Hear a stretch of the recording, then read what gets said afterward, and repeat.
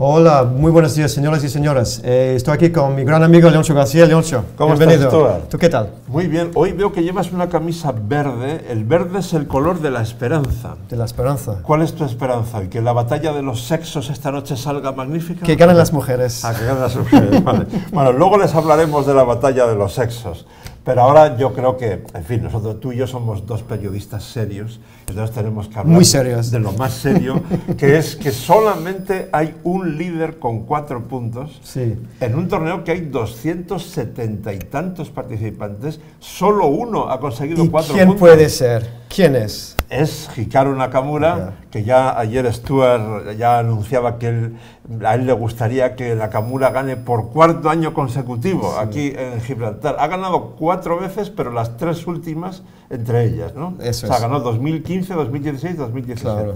Y ahora tiene cuatro puntos de cuatro, como dices tú, el único persona, la única persona con cuatro puntos. Ha ganado una partida, vamos, increíble ayer, ¿no? Sí, lo vamos a- lo vamos a ver un poquito. vamos a ver enseguida, pero mm, corrígeme si crees que me equivoco. Yo creo que es muy raro que en un torneo con tantos jugadores solo uno tenga cuatro puntos, ¿no? Sí. Normalmente suele haber bastantes más, ¿no?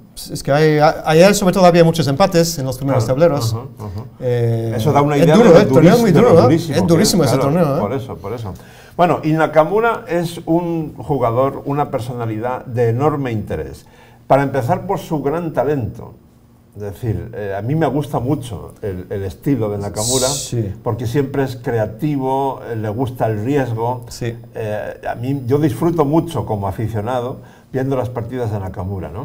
Y he, he oído opiniones en la misma dirección, por ejemplo, el gran maestro Juan Manuel Bellón, que tiene una enorme experiencia, porque creo que está cerca de los 70 años ya, si no recuerdo mal.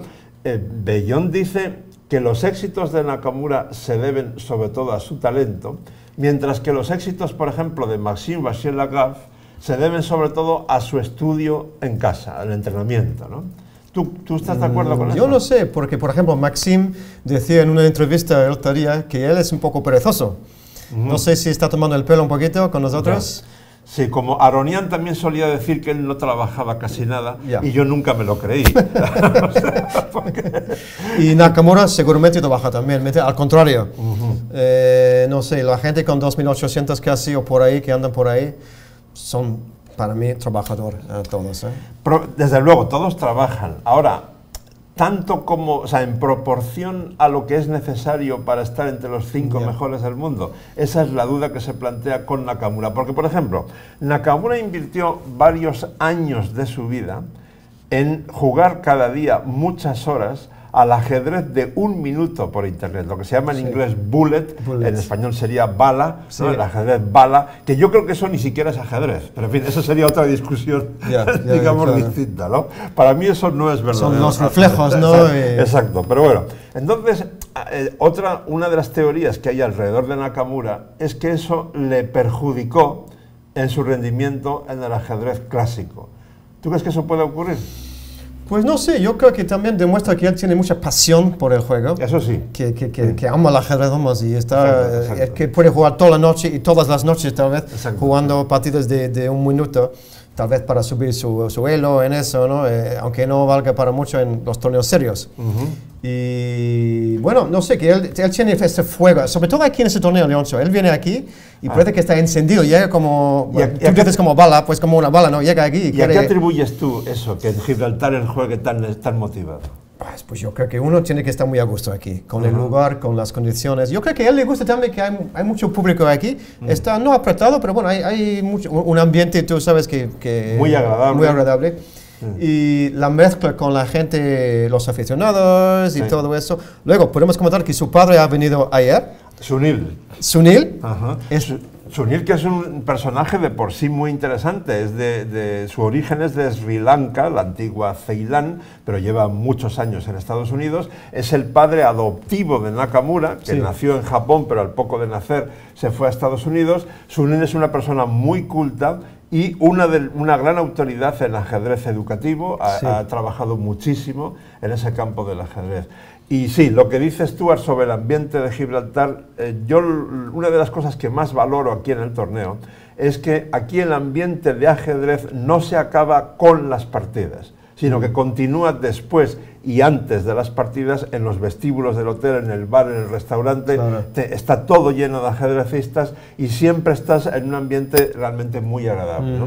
Pero una cosa que quiero incidir un poquito más, cuando te preguntaba por las partidas de un minuto de Nakamura, Sí. con conexión con eso, imagínate que muchos de nuestros telespectadores te hacen la pregunta como gran maestro que eres, mm, ¿jugar muchas partidas rápidas es bueno o es malo para jugar bien en ajedrez clásico? ¿Dónde está la medida? Eso es, claro, pues es una pregunta ahí difícil, pero yo creo que hay un límite. A mí, personalmente, nunca me gustó tanto jugar partidas de un minuto de bullet chess, nunca me gustaron, porque para mí es- hay muchos accidentes, hay es, trampas, ¿no? Jugando por las trampas y esas cosas, que no es mi...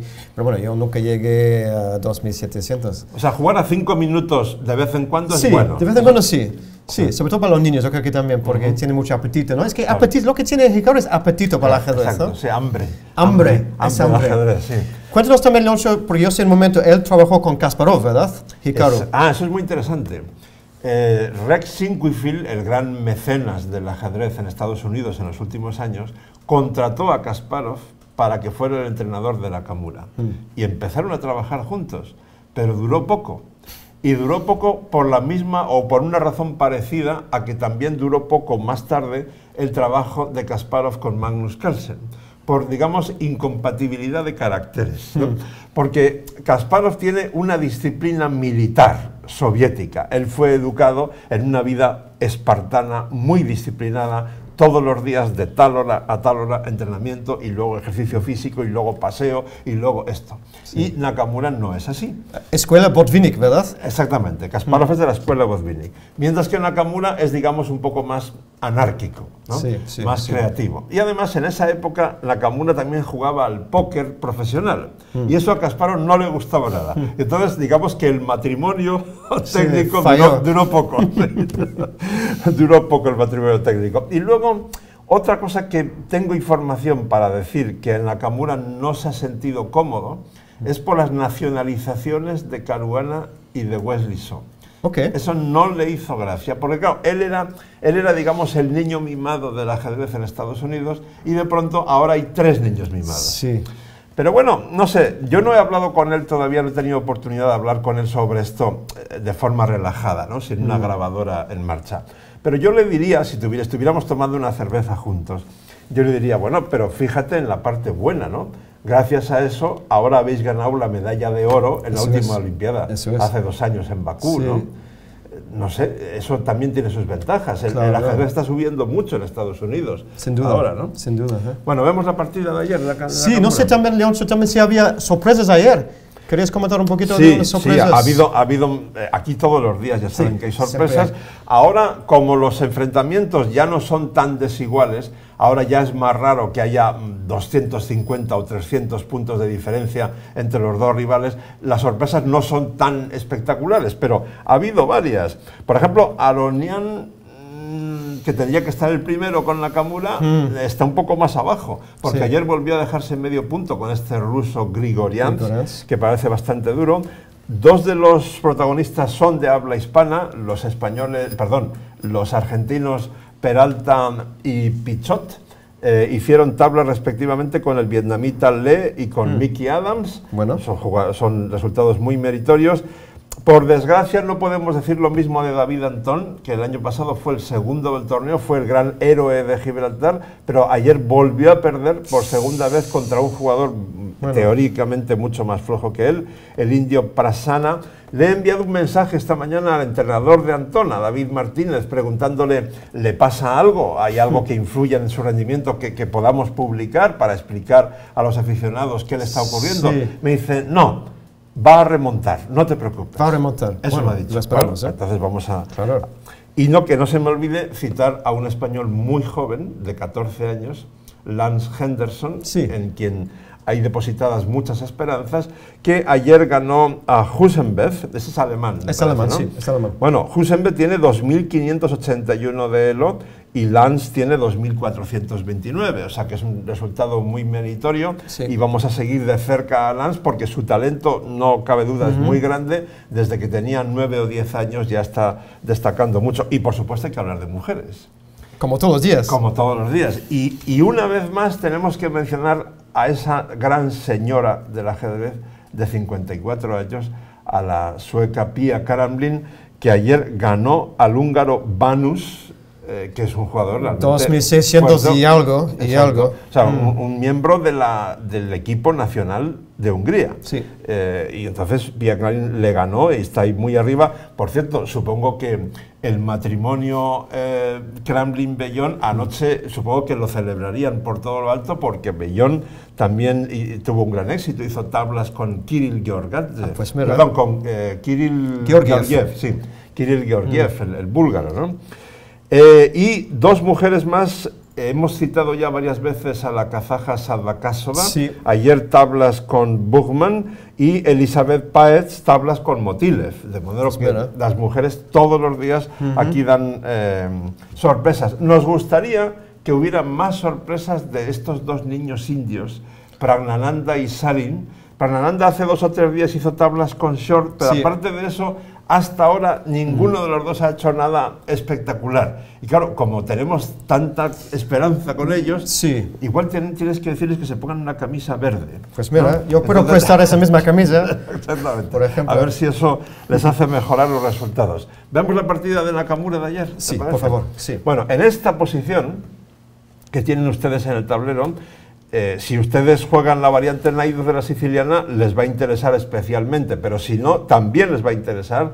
Porque aquí hay una novedad de Nakamura. Bueno, no es totalmente novedad, o sea, lo había jugado ya un aficionado de 2.200 puntos, pero es, es novedad, digamos, en la élite. ¿no? Aquí eh, juega eh, alfil F2, la idea es poder llevar ese alfil a G3 de forma que si las negras responden con E5, el alfil no quedaría amenazado como si lo estaría si, fuera a F4. ¿no?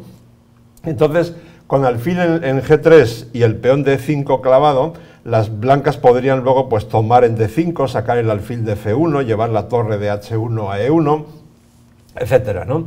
Eh, entonces, contra alfil de 6, que quizá no sea la mejor jugada, Bueno, aunque, au- aunque parezca lógico, ¿no? También, no sé. es lógico, pero según he estado analizándolo con la máquina, quizás sea, haya mejores jugadas de las negras ahí. Pero en fin, eso lo dejo a los estudiosos de esta variante. La partida tiene ahora unas complicaciones tácticas muy interesantes.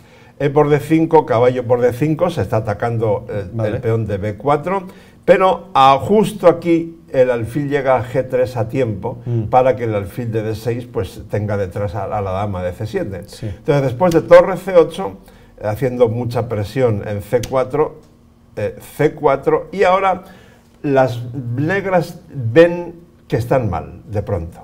O sea, y tú dices, "Ay, esta- en esta posición conviene parar un poco, ¿no? Porque tú lo miras fríamente y dices, vamos a ver, pero ¿por qué están mal las negras si hay seis piezas negras bien coordinadas en el centro? Sí. y solo cinco blancas, porque el alfil de F1 de momento juega poco y la torre de H1 no juega nada. Es verdad que el rey negro aún está en el centro, pero el rey blanco tampoco está muy seguro en C1.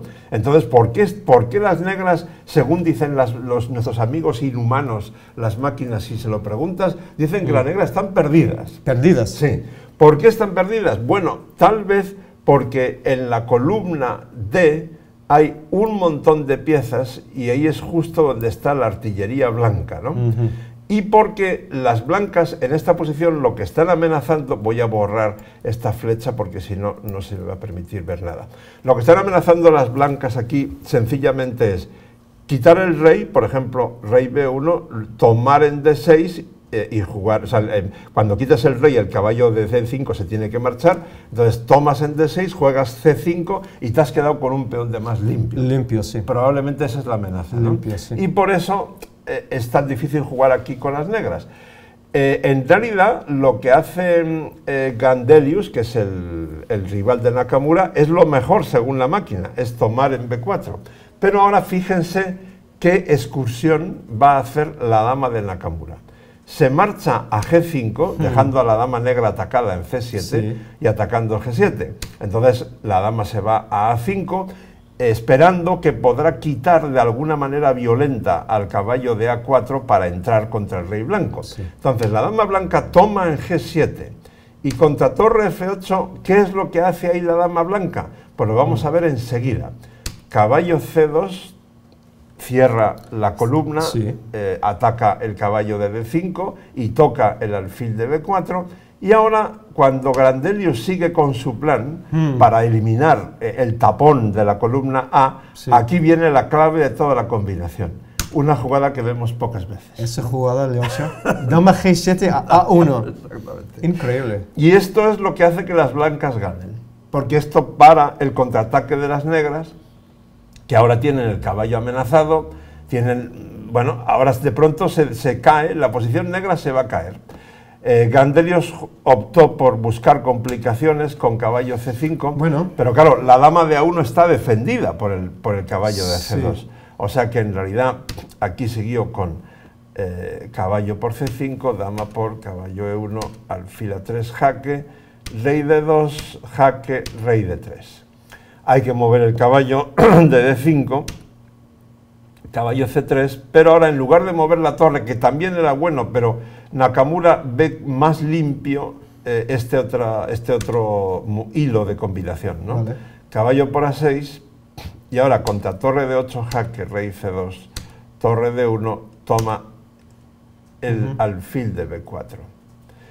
Eh, muy bien evaluado por Nakamura, porque ahora se va a ver enseguida que las dos piezas blancas valen mucho más que la torre negra, porque el rey blanco está bien protegido y las piezas blancas van a conseguir coordinarse rápidamente. Sí, porque tiene que sacar el alfil segundo, ¿verdad? Exactamente. Ah, primero eh, se amenaza la torre y ahora se tapona esa mm. columna para que el alfil pueda salir justo a tiempo. Sí.